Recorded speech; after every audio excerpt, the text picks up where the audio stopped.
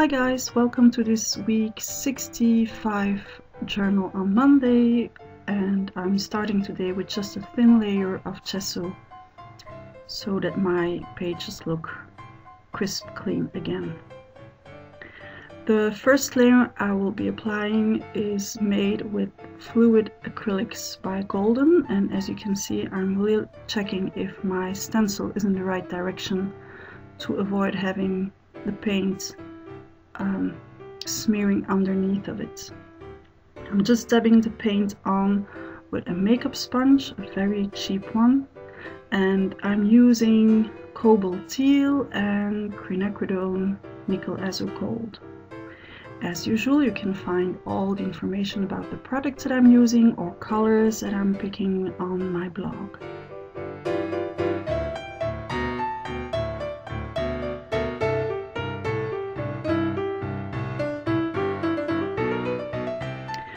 When I was taping this, just for your information, I was surrounded by kids in my studio, which was very funny because they wanted to do the same as I was doing, and at the same time, they wanted to have their own freedom to choose.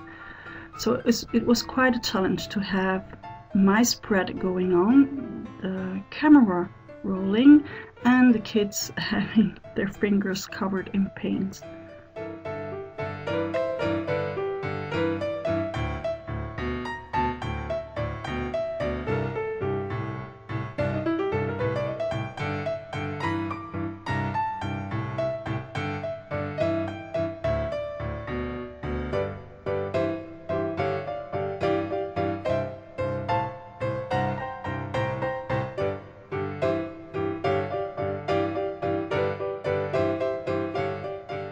Now that this is done, I want to soften it down and bring it, take it back to the background. So I'm adding a bit of airbrush color by Golden. It's uh, titanium white, which I'm diluting with water. And then um, going over it with a piece of tissue to soften it even more. And as I really wanted to be a wash, I'm even taking out a baby wipe to soften it down even more.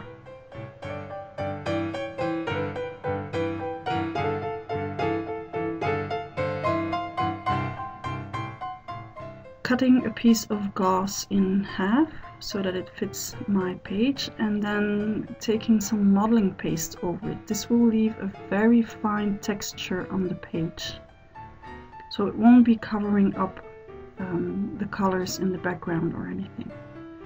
And the fun thing is, by doing this, you can keep the gauze, leaving it aside to dry, and then you can use that one as an embellishment, which I'll prob probably do in my next video.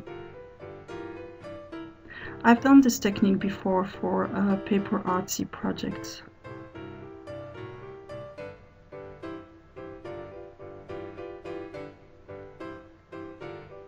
when you move the gauze around, just be careful not to damage the texture you've applied already on your paper.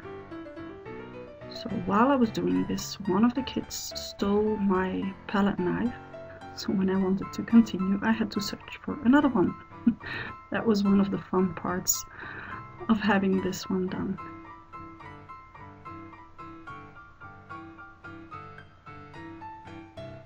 And there's the other knife.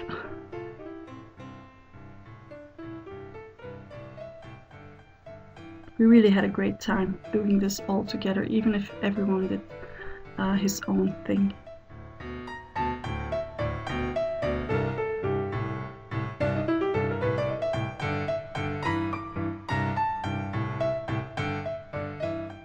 So laying the gauze aside and leaving it to dry.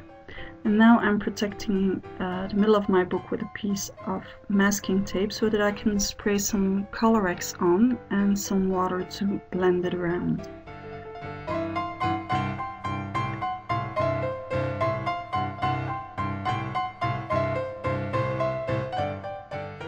Again, I'm going in with a baby wipe to soften it down again, very lightly.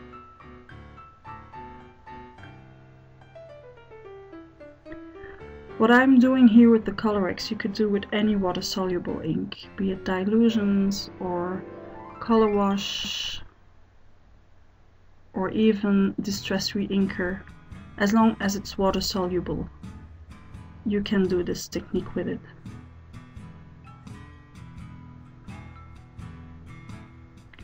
And then I'm going back in with the fluid acrylic so that the two different colorized parts work together. This will also help me bring out the texture that I've been applying, the modeling paste that I applied on top of the gauze. And I'm applying it using a baby wipe because I really want to keep it very soft. And taking out a second baby wipe, I'm softening it down even more.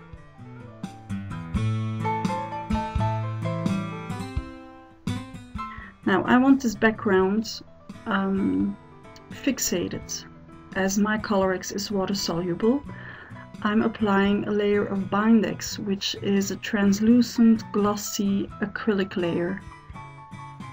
And that will allow me to have a background that won't move anymore if I add more um, moisture to it. Diluted black acrylic ink that I use to splatter my page with and then I'm adding a bit of archival ink on the edges. I couldn't be doing this with uh, distress ink because of the Bindex as it's an acrylic. The distress ink won't um, stay on top of it. Taking the excess away and I did leave some time for the black acrylic to dry, of course.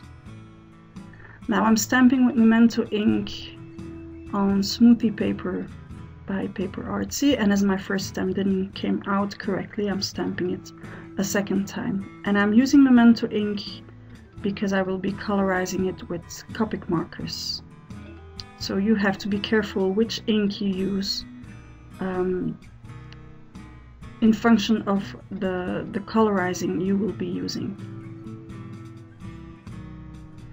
I'm thinking about the color, seeing if this is what I want to do, and then I'm going in with several shades of green. I always go in with the lightest color first, then work my way up to the darkest one, and then again in the other direction, going back to the lightest one so that everything is nicely blended together.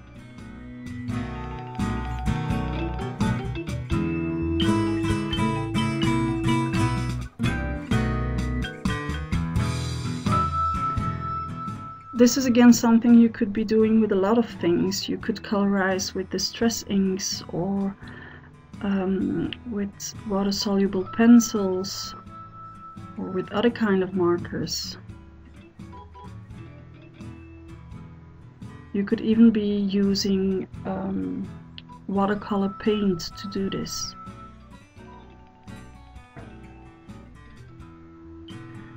Then taking the distress ink, black soot distress ink to take out the white of the edge. This is again my 2012 Moleskine agenda that I didn't use, that I'm using now in 2013. I'm applying a bit of vintage photo distress ink so that my page looks a bit older. Spraying some water on top of it and then drying it.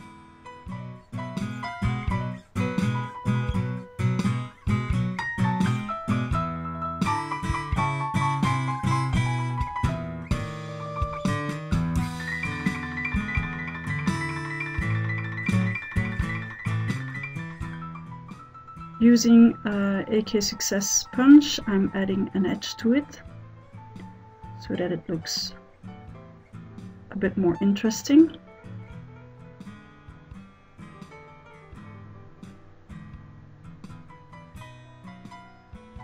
And that's the power cord of my heat gun going to the other side of the table. and then adding some more uh, vintage the distress ink to the edges.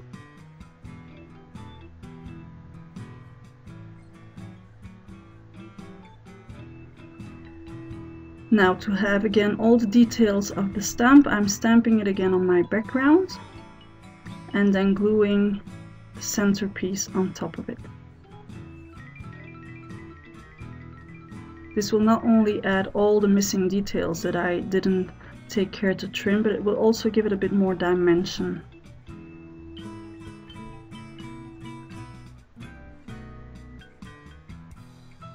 Taking out a sticker alphabet to add the sentiment, which of course that day was studio time, and the three little mon monsters are the three kids that I had in my studio that day.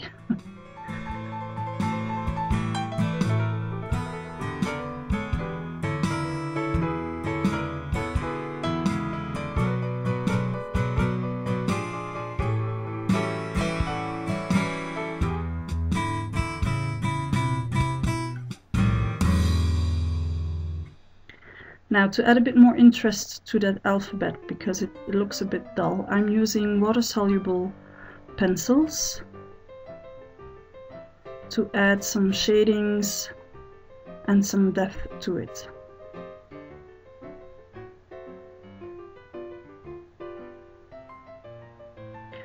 Once I'm done colorizing, I'm going over it with water to blend it.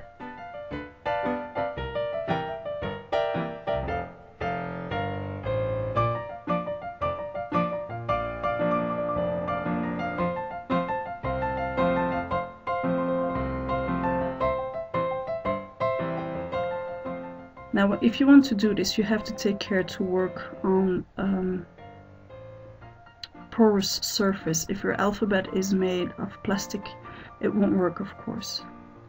And then using a lighter shade of brown, I'm going back over it and adding even more shading to my letters.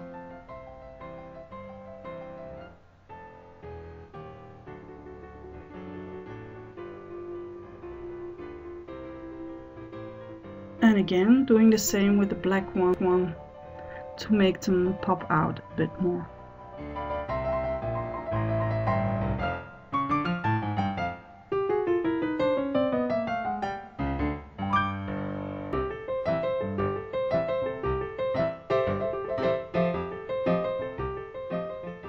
And then again blending. And as you can see, the letters are finally a bit more defined on top of the page. As the paper is suffering from all the water that I'm using, I have to add glue, even if it's a sticker alphabet. And to make sure it will stay flat on my page, I'm putting some weight on it just for a couple of minutes.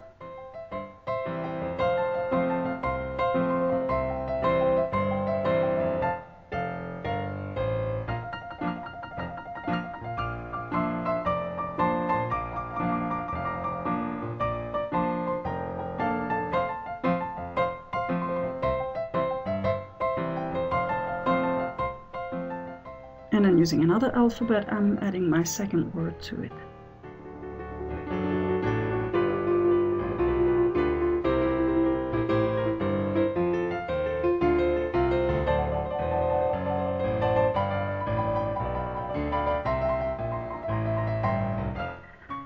As I have a layer of Bindex on my page, which, which is a non-porous surface, and as I do want to add a bit more of a shading to the letters, I have to do this with acrylic paint.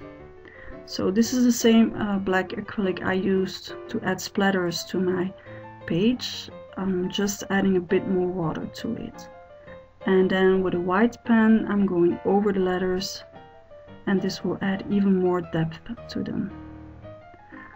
This is a piece of watercolor paper on which I'm spraying water and Dylusions and then drying it without rolling it. I really want all that color to stay on my paper because I want to play around with it in the next step. Stamping my banner on it using archival ink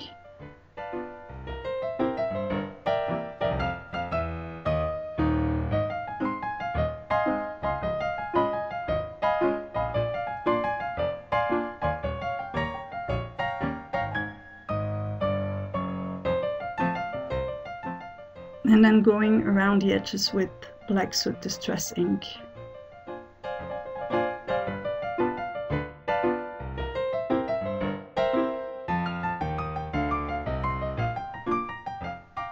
Now to stamp my banner on my page, I need my stamp positioner to make sure it's uh, stamped where I want to have it. Again, if you'd like to know how to use a stamp positioner, there's a video about it on my channel.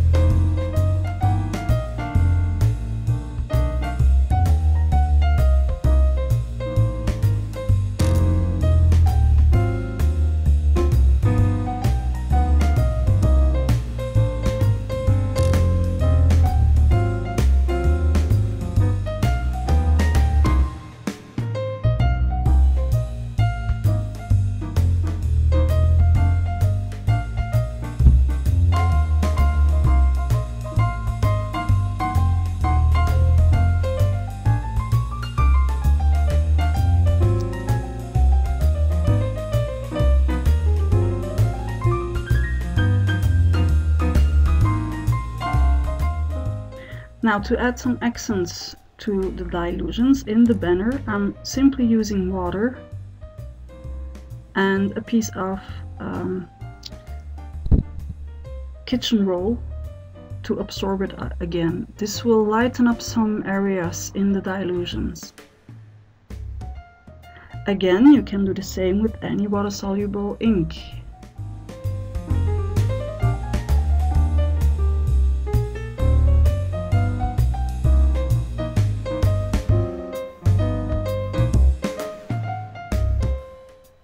Trimming off the excess.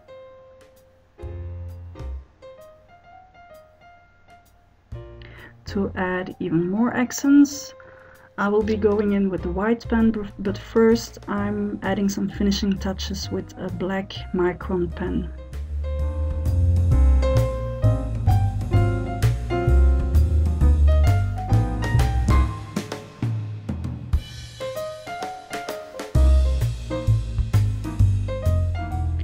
The green on my main image was too greenish so I'm adding a bit of a blue shade in the same uh, Copic markers.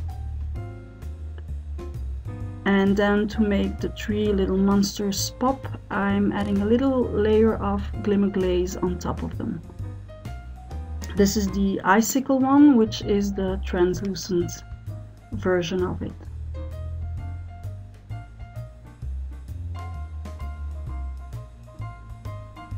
At this point I thought I was done so I stamped my date stamp but then I changed my mind. So here I go again, water, Dylusions, drying it and then punching a tab. I'm adding Black Soot Distress ink again on the edges, folding it so that I can put it over the page. Now I also want to stamp a word on that tab. Again, I'm using my stamp positioner to make sure it's where I would like it to be.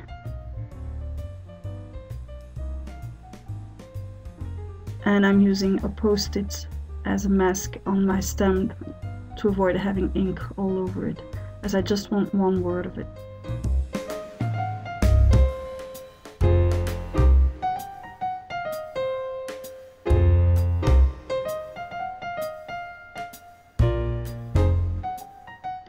To make my tab work uh, with the rest of the page, I'm adding some doodling using a micron pen on the edges and later on also a white pen to add some accents.